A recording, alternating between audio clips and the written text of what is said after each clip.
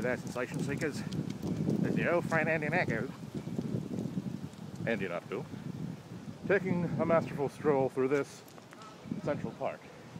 I'm actually slight to the right of the center as I'm at Central Park West. Just enjoying a lovely, lovely day. Occurs to me that I almost never post videos via Posterous, chiefly because I have not, I had not switched my real phone to the 3GS until about now. And I'm having just such a great day.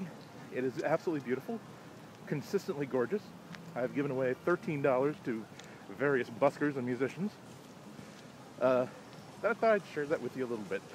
Now, of course, it is Columbus Day weekend, and so many, many people are coming to visit the statue of Christopher Columbus.